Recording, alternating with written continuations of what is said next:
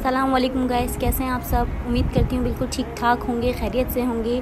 मेरे blog life with रबी में बहुत बहुत खुश आमदीद कहती हूँ मैं आपको। आज जो मैं आपके लिए रेमेडी लेके हाज़िर हुई हूँ, वो बहुत ही इफ़ेक्टिव है और बहुत ही अच्छी रेमेडी है वो आपके लिए स्पेशली गर्ल्स के लिए है। और आप जानते हैं गर्मियों का सीज़न है, गर्मियों में पसीना बहुत आता है स्वेटिंग बहुत होती है, जिसकी वजह से हमारा फेस जो है मज़ीद डल लग रहा होता है। इसके लिए मैं आपके लिए लेकर आई हूँ एक वाइटनिंग टोनर वाइटनिंग टोनर बहुत ही अच्छा है बहुत ही इफ़ेक्टिव है ये.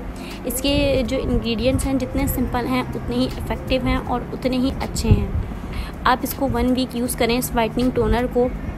बहुत इफ़ेक्टिव है ये और आपके जो चेहरे पे डलनेस होती है ब्लैकनेस आ जाती है, गर्मियों में पसीने से, वो नहीं आएगी. बहुत अच्छा ये टोनर है और इसके इंग्रेडिएंट्स भी बहुत ही सिंपल हैं.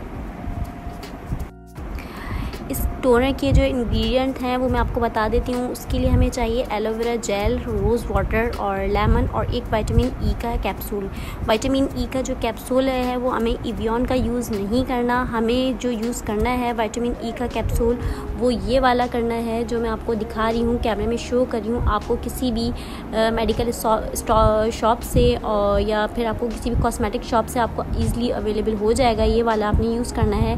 ये सिर्फ़ आपने एक डालना है इस टोनर के अंदर। देन मैं आपको बताऊँगी फिर क्या डालना है हमने इसमें। आपने, चले हम स्टोनर को मैं आपको बनाने का तरीका बता देती हूँ कि आपको स्टोनर को कैसे तैयार करना है। आपने, मैंने पहले से इस बाउल में जो है रोज़ वाटर निकाल लिया था। वन टेबल स्पून आपने रोज़ वाटर लेना है।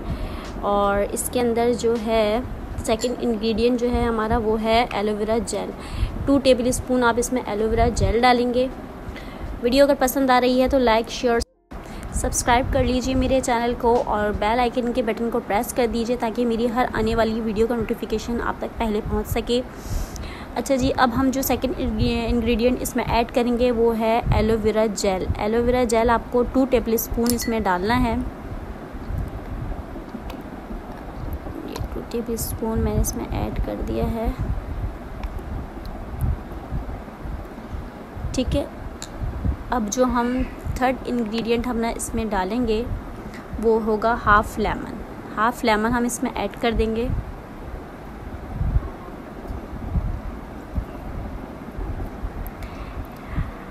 ये जो टोनर है, ये आपकी स्किन को लाइट करेगा ब्राइट करेगा. अनिमिन टोन जो स्किन होती है पिगमेंटेशन होती है, उसको ख़त्म करेगा.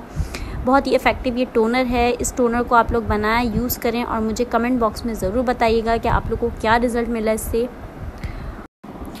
फोर्थ इंग्रेडिएंट जो है हमारा वो है विटामिन ई का एक कैप्सूल इसको हम प्रिक करके इसके अंदर ऐड कर देंगे। सिर्फ़ एक विटामिन ई का कैप्सूल इसमें जाएगा।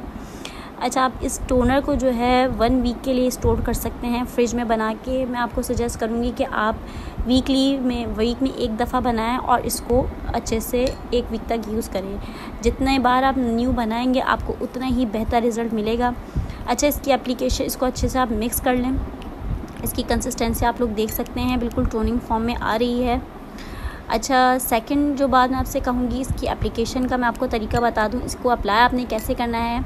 डे टाइम में भी आप इसको अप्लाई कर सकते हैं बट मैं आपको बताऊँगी कि आप इसे नाइट टाइम में अप्लाई करें। नाइट टाइम में आप इसे अप्लाई करेंगे तो आपको जो फ़ायद हासिल होंगे वो और ज़्यादा बेहतर होंगे। आप इसे नाइट फेस वॉश करके नाइट में लगाएँ और फिर आप सो जाएँ। देन आप मॉर्निंग में इसको वॉश करें। बहुत अच्छा रिज़ल्ट होगा आपकी स्किन। इस टोनर से जो है आपकी स्किन ब्राइट होगी, लाइट होगी, बहुत ही ग्लो करेगी आपकी स्किन। आप वन वीक इसे यूज़ करें। देन आप मुझे रिज़ल्ट बताइएगा, कमेंट बॉक्स में कि आपको कैसा लगा।